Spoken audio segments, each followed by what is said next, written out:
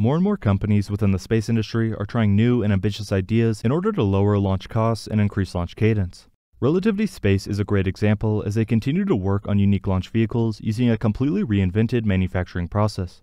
While never done before, Relativity believes that 3D printing is the future of aerospace manufacturing. Even though the company is only weeks away from the first launch of Terran 1, Relativity has released even more updates on Terran R.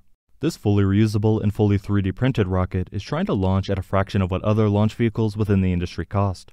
However, in order for this innovative idea to become a reality, Relativity has been hard at work on different key components including a next-generation rocket engine. Over the last couple of days, CEO of Relativity Tim Ellis shared more progress on Aeon-R and why it's so important. Combine this with new 3D printers and a maiden Terran 1 flight around the corner, and it's clear the company is making some significant progress. Here I'll go more in depth into the recent Terran R updates, why this launch vehicle is so unique, how Relativity plans to manufacture it, and more.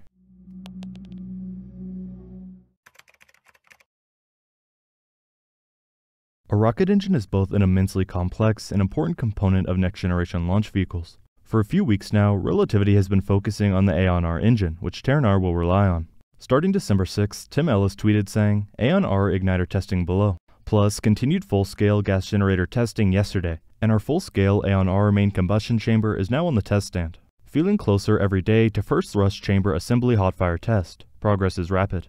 He also highlighted, can't wait to see what 268,000 pounds of thrust looks and feels like.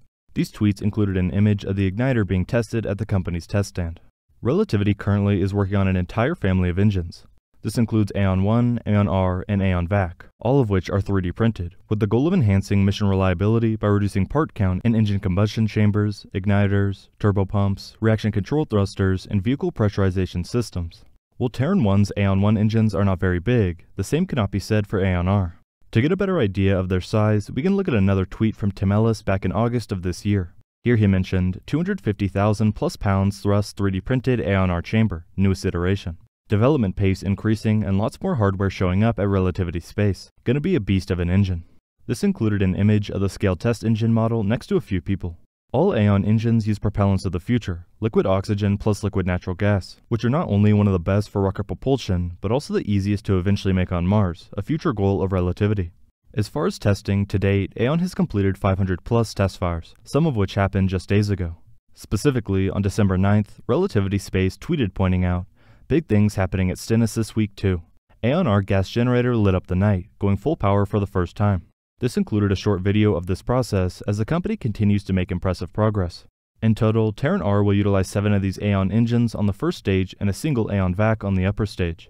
Relativity's Aeon engines are designed, assembled, and tested in-house. For example, with the exception of the second stage nozzle extension, each of Terran 1's 10 engines is based on a common design helping enable simplified and repeatable manufacturing and acceptance testing. Each engine uses two turbopump assemblies for thrust and mixture ratio control, one for liquid natural gas and one for liquid oxygen. The thrust chamber is regeneratively cooled with liquid natural gas, which is then injected into the main combustion chamber and burned with liquid oxygen to produce the required thrust. In the coming months, we can expect to see more progress on these engines and their application to the Terran R launch vehicle. Now that we know more about some of the progress on Terran R's engines, we can take a closer look at the vehicle itself and the manufacturing process behind it. Created in Relativity's Factory of the Future, Terran R is fully reusable including its engines, first stage, second stage, and payload fairing, and will be capable of launching over 20,000 kilograms to low Earth orbit in a reusable configuration. Currently, the company is still confident Terran R will launch from Cape Canaveral starting in 2024. In terms of its design, Relativity points out that Terran R has unique aerodynamic features with algorithmically generated and optimized structures. Relativity's proprietary 3D printing process is enabled by software and data-driven manufacturing, exotic 3D printed materials, and unique design geometries that are not possible with traditional manufacturing, driving a faster rate of compounding progress and iteration in the industry. They also highlight that different aspects of the rocket, including its grid fins, were inspired by nature. Terran R is intended to provide both commercial and government customers affordable access to space, in LEO and beyond. In other words, Terran R is hoping to accommodate the company's growing pipeline of commercial interest and eventually offer customers a point-to-point -point space freighter capable of missions between the Earth, Moon, and Mars. By fusing 3D printing, artificial intelligence, and autonomous robotics, Relativity is printing its rocket structures and engines, significantly reducing touch points and lead times, simplifying the supply chain, and increasing overall system reliability. Just over a month ago, we learned more about the new generation of printers designed for the specific rocket. Most immediately, the new generation of printers will serve as the primary manufacturing infrastructure for Terran-R production. The majority of Terran-R components will be printed inside Relativity's new 1 million plus square foot headquarters in Long Beach, named the Wormhole. Aeon-R engines for Terran-R will continue to be produced at the company's other Long Beach factory, the Portal. The Wormhole, a former Boeing C 17 manufacturing plant, was secured by Relativity to be its new headquarters in 2021. Currently 33% operational, the factory has several new Stargate printers online with more than a dozen printers planned to be producing Terran-R components in the coming months. At the full capacity forecasted run rate, Relativity believes each of these printers is capable of producing four Terran-R rockets per year. The remainder of the wormhole will continue to be built out in phases, bringing more printers online and moving more teams into the company's headquarters as production for Terran-R scales. Large-scale products that are designed to fly will inevitably be 3D printed, said Tim Ellis, co-founder and CEO of Relativity Space. The lighter a product is, the better it performs, and when 3D printing that product, it's also faster and more cost-effective to produce with each successive improvement. The compounding rate of progress is high, and we are still in the early days of what printing can achieve. We see 3D printing as an automation technology that has the power to change the pace of innovation in manufacturing, which is why we've invested in building our own proprietary tech stack from day one. Stargate printers are designed to unlock rapid iteration, which opens up opportunities for innovation in large-scale manufacturing products. What would take traditional aerospace and space manufacturers years to develop and build will be reduced down to months due to a highly adaptable, scalable, and automated process, made possible through software-driven manufacturing. It's important to point out that even though Terran-R is still in the early stages of development, it already has secured some significant contracts.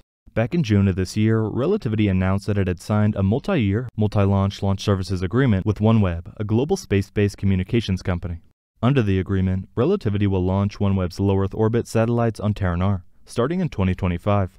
These launches will support OneWeb's development of its Gen 2 satellite network, which will add capacity and fresh capabilities to build upon the initial constellation of 648 satellites the company is currently building out. Terran-R will launch OneWeb missions from Launch Complex 16, Relativity's site at Cape Canaveral Space Force Station, the same location we're about to see Terran 1 lift off from for the first time. With the addition of this multi-launch agreement with OneWeb, Relativity now has a total of five signed customers for Terran-R, including multiple launches totaling more than $1.2 billion in backlog. Relativity Space has its hands full with Terran 1's first launch only weeks away and Terran-R development and testing underway. In the last few days alone, we've seen an increase in updates from the company regarding this next generation launch vehicle's engines, Aeon-R. Not to mention more progress on this rocket's new 3D printers and various infrastructure supporting the future of Terran-R. We will have to wait and see how it progresses and the impact it has on the space industry. Thank you very much for watching.